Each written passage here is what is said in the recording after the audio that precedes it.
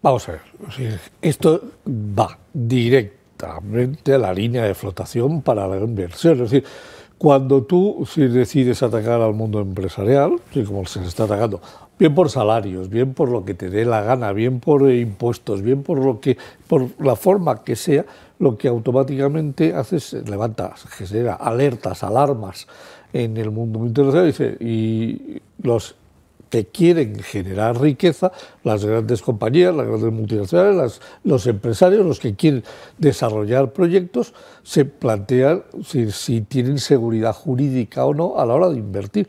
Aquí lo que están creando, o sea, Barbie Tenacillas, lo que está creando en estos momentos es una inseguridad frente a los señores que tienen el dinero y el capital para poder venir aquí a invertir. Llevamos un decrecimiento de aproximadamente un 30% en la inversión real extranjera.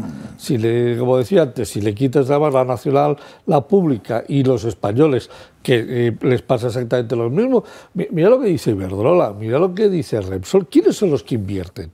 en este país, los que tienen capacidad económica y financiera para invertir. Las grandes empresas, y que te están diciendo que, ojo, como sigamos así, que se van a invertir a otros sitios.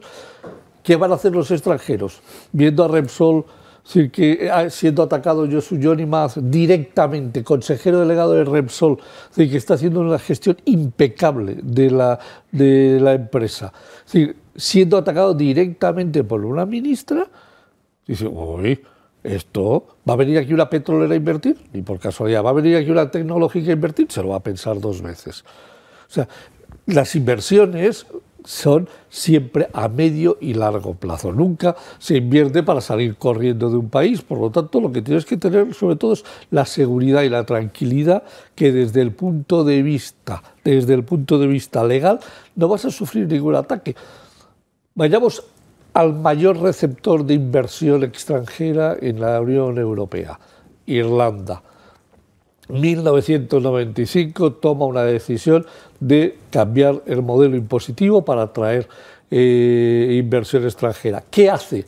No, ¿Lo decide un gobierno? No. Se sientan los cinco partidos del arco parlamentario y toman una decisión. Si hacemos esto es para mantenerlo per insecula seculorum. Han pasado, han pasado 29 años. 29 años.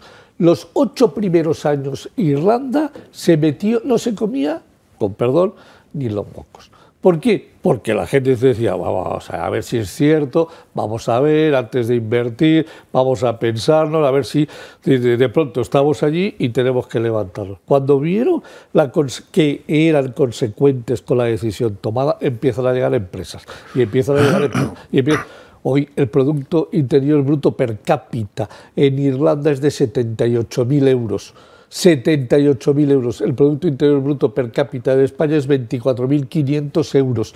en el año 95 estábamos muy por encima del PIB per cápita de los irlandeses. Irlanda tenía menos Producto Interior Bruto que Portugal. Hoy la multiplica por cuatro. ¿Cómo se consigue eso? Primero, dando seguridad jurídica y segundo, eh, intentando hacer las cosas para que vengan y favoreciendo la inversión extranjera. Esto la Teracillas, la Barbie, lo siento mucho, es que no tiene ni idea de, lo que es eh, la, generar riqueza. Es un comunismo rancio, viejo, asqueroso, que no sirve para nada, que lo único que va a generar es como decía Garamendi, repartir la pobreza en lugar de generar riqueza. ¿Vamos a repartir pobreza? Claro, que se lo pregunten a los argentinos, que se lo pregunten a los venezolanos, que se lo pregunten a todos ellos. Pero hombre, si hasta, hasta Petro y hasta López Obrador lo dicen bien claro que hay declaraciones de ellos. No, no, aquí lo, que, lo más importante es que los pobres sigan siendo pobres toda la vida, porque como, ganen un poquito más de dinero, de pronto ya no nos votan. Eso es lo que quieren generar pobreza. Pero, eso, pero eso tiene un, nombre, o sea, eso no empieza por P y acaba por O, populismo, que decía Garamendi, eso empieza por C y acaba por O, que es comunismo. Comunismo, comunismo rancio, Y, Yolanda Díaz, ¿de dónde viene? comunismo, comunismo rancio. ¿De dónde viene? De un comunismo rancio. Y es lo que está aplicando y es la ideología que se está imponiendo en el gobierno de España.